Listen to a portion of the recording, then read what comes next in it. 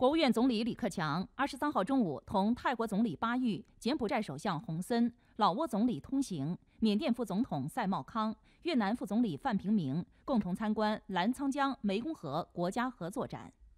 李克强同五国领导人依次参观了新能源汽车、绿色电力装备、高铁列车模型、新型建材、智能家电、机器人、云计算设备、杂交水稻标本等，认真听取各企业代表的介绍。详细询问有关设计细节、技术标准、适用环境和合作进展等情况。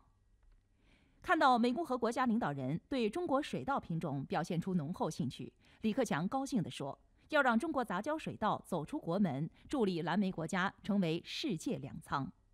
杨晶参加上述活动。